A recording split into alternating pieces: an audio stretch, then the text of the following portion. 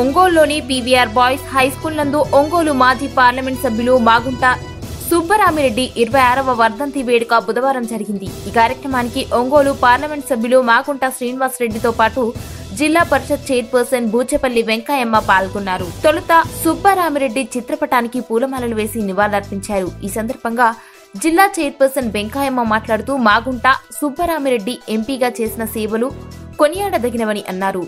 ఇప్పటికీ ఎంతో మంది ప్రజల్లో మర్చిపోలేని వ్యక్తిగా ఆయన ఉన్నారని చెప్పారు.